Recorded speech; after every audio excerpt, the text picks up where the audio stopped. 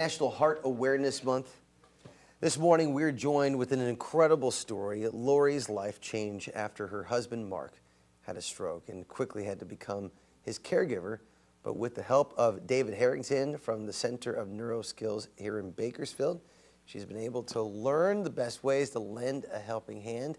And joining us this morning is Lori and Mark, as well as we have David in the wings. Lori uh, and Mark, thanks for coming on. Tell us a little bit about your story to our viewers.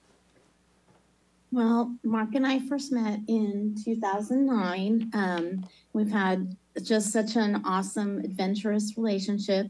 Um, but unfortunately, a little over a year ago, he had a stroke. And through that stroke, fortunately, I found Center for Neuroskills, which has really helped us a lot on our journey. Well, before we get over to the Center for Neuroskills, Lori, let me let me ask you, how is how's Mark doing this morning?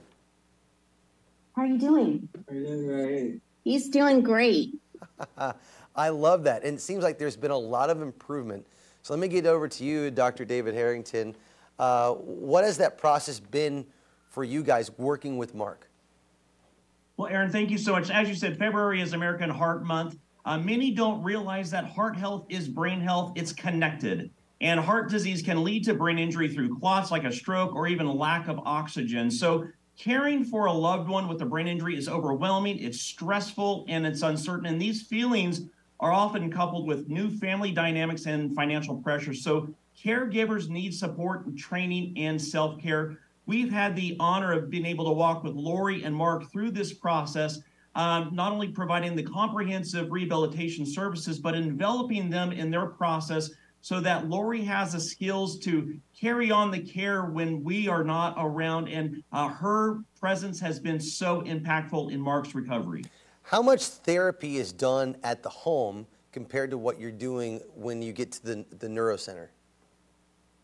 Well, we challenge our residential site is a treatment setting. So from the time that Mark wakes up to the time he goes to the clinic, when he gets home, uh, he's doing work. So everything from challenging him to cook, to dress himself, to eat.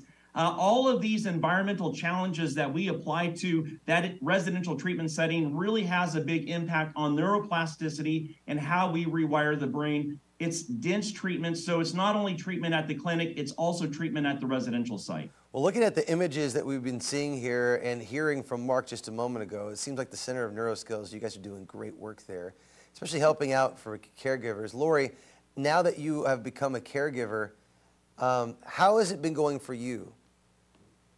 It has been a long learning process. Believe me, there is so many things that we've learned on this journey. Um, but through CNS, I've really gotten a lot of skills. They've partnered with us and helped us with what we've needed, given us tips, ideas, things I didn't even know about. And it's just been, it's made the caregiving journey easier.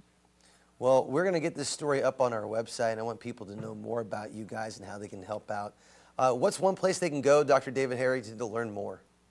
Well, for all your viewers, if you have a loved one who's experienced a stroke, the American Heart Association's online support network is phenomenal for heart issues, stroke issues. Uh, it really provides a forum for caregivers for that emotional support and to be able to connect with people across the United States. And I would encourage all the viewers to go to supportnetwork.heart.org, uh, where you can connect with other people. But of course, there's also neuroskills.com to gather more information on stroke as well. Okay. Lori, Mark, David, thank you guys for coming on and thank you for sharing your story with us. Thank, thank you, you so much. All right, a lot more to come on